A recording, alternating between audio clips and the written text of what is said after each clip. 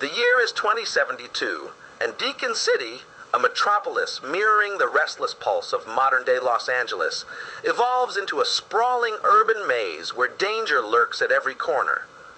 Time slips by, 30 years since the last Mortal Kombat tournament, yet the city's underbelly still simmers with the embers of old rivalries. For its inhabitants, Deacon City is both a glittering beacon of opportunity and a treacherous pit of vice. Petty crimes and criminal activities have become woven into the fabric of daily life, thriving in the shadowy alleys and neon lit streets. Two notorious crime factions have long claimed the city as their battleground, locked in an unending struggle for dominance. Across the main bridge lies Chinatown, a labyrinth of dark secrets and a stronghold of the enigmatic triad ruled by the Lin Kuei. But the rest of Deacon City is a fractured territory, controlled by the three sinister heads of the Black Dragon Syndicate. Downtown Deacon City answers to the merciless grip of Kano, while the north belongs to the cunning Erron Black, and the east is a playground of terror governed by the lightning-fast Kabal. In this urban jungle, the Deacon City Police Department struggles to maintain order amidst the chaos. The city boasts one of the largest stations in the country, and within its walls, two main operations departments clash with the criminal underworld. Among those who face the menace head on is the formidable Briggs family, whose bloodline is a testament to valor. Captain Jax Briggs, a pillar of unwavering determination, leads the charge, flanked by his equally resolute daughter, Jacqui Briggs, and her younger brother, Fox Briggs. Alongside them stands Lieutenant Kurtis Stryker, a beacon of steadfastness amid the ever encroaching darkness. But in the shadows, where ordinary laws of reality bend and twist, lurks a deeper menace.